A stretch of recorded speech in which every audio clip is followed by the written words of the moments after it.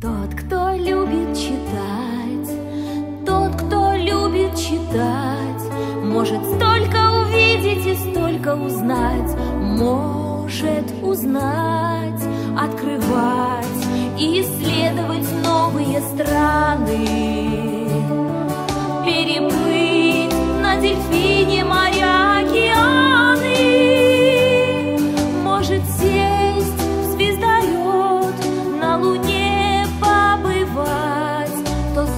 любит читать.